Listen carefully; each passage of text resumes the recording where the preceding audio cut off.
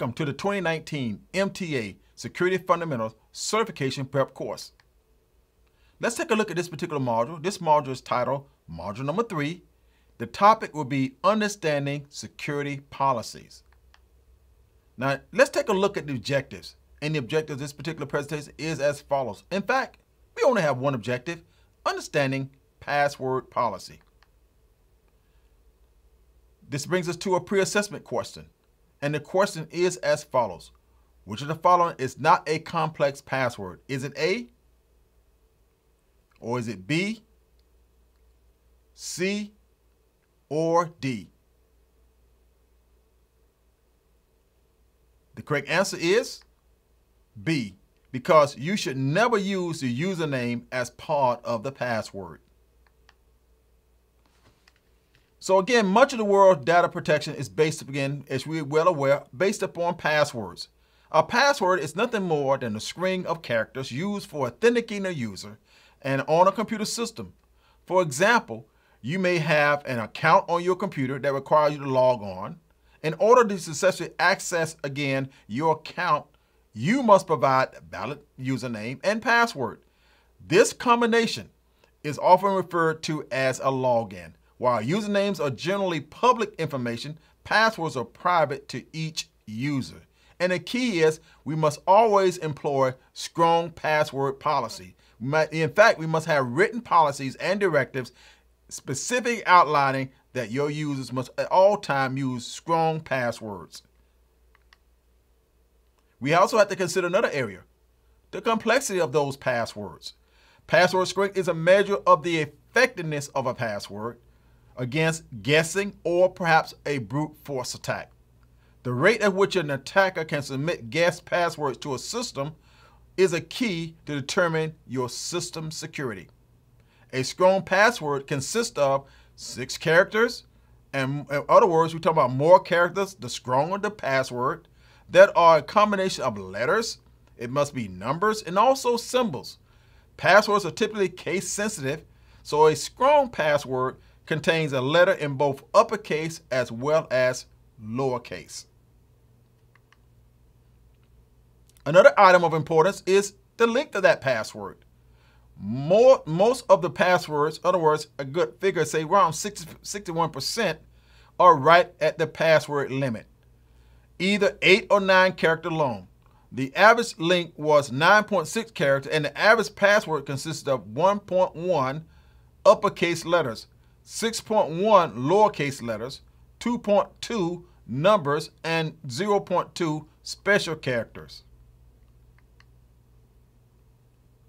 Another area of concern is the minimum password age policy. You need to have a policy that addresses this issue because it determines the period of time in days that a password must be used before the user can change it. You can set a value between 1 and 998 days or you can allow password changes immediately by setting the number of days to zero. The maximum password age policy settings, what it does for you, in fact, it determines the period of time in days that the password can be used before the system requires the user again to change it. So that's something that we have to be aware of in regards to the time between the password changes. Password history, we want to make sure we enforce password history policy by determining the number of unique new passwords that must be associated with a user account before an old password can be used. Password reuse is an important concern in any organization as well it should be in your organization. Many users want to reuse the same password for their account over a long period of time. And as a result of that, what happens, that impacts you from a security perspective. The longer the same password you use for a particular account, the greater the chance that an attacker will be able to determine the password through a brute force or type attack. If a user are required to change their passwords, but they, they can't they can reuse an old password, the effectiveness of a good password policy is greatly reduced. Here's a screenshot taking a look at again at a password policy. But remember, a password policy is nothing more than a set of rules designed to enhance the computer security by encouraging users to employ strong passwords and, and then use them obviously properly. Account lockout is a feature of password security in Windows 2000 and beyond, and later that disable user accounts when a certain number of failed attempt logins occur.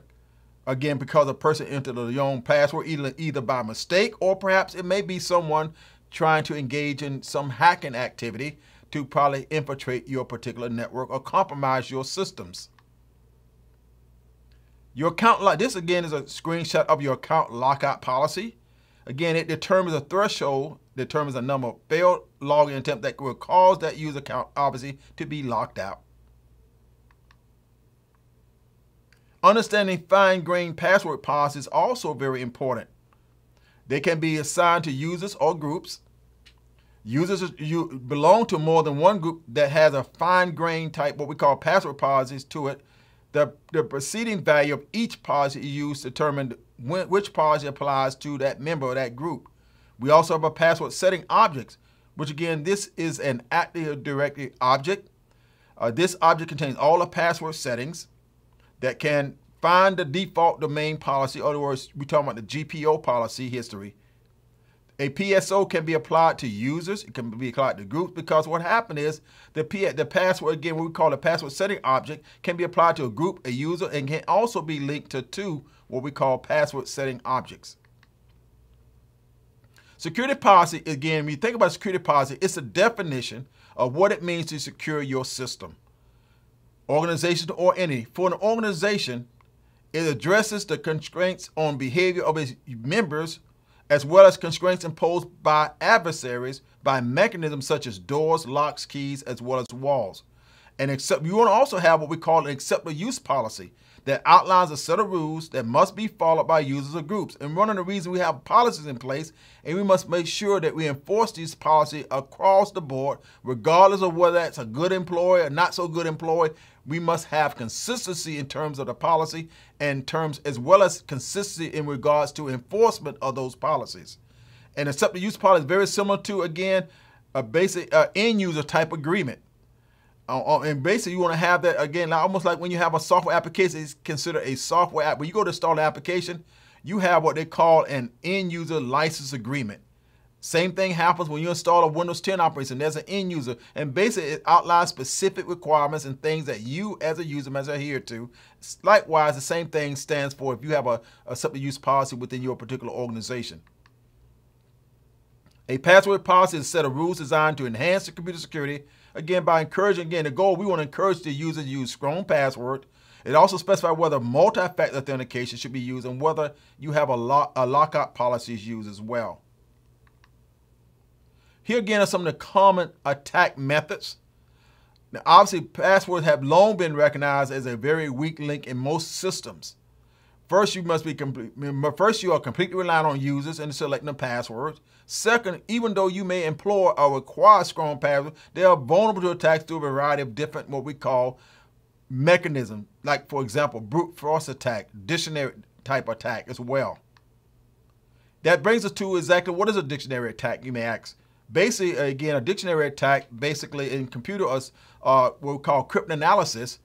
Basically, a dictionary attack is a form of brute force attack for defeating a cipher or authentication mechanism by, by determining the again its decryption key or prayer uh, uh, passphrase by trying hundreds or sometimes millions of likely possibilities, such as a dictionary. Your dictionary attack, again, that, that's why it hence the term called a dictionary type attack. That's why it's so important that it cannot be overstated that you have to make sure that your passwords are very complex. You don't want to use usernames in the passwords as well. A brute force attack, on the other hand, is a trial and error type method to obtain information such as your user password, your personal identification number, or PIN. In a brute force attack, automated software is used in this case to generate a large number of consecutive guesses as to the value of the desired data. Another example, if you think about with our accounts, many of us log onto our bank accounts. They give literally give you three attempts. You get it wrong, guess what happens? It locks you out. And oftentimes they may require you to contact that bank in order to be able to facilitate the process whereby that account is unlocked. It don't automatically unlock itself. However, within the Windows operating system, you actually set it up where it locks the account out for about an hour. Or perhaps you may have it set up where when that account gets locked out, they need to contact your, the IT department or information technology department to have someone actually be able to unlock that lock, mm, uh, unlock that particular account on your account, basically manually speaking. Did you know, again, there's a difference between a dictionary as well as a brute force attack? Let's begin by first defining what is in fact a dictionary attack.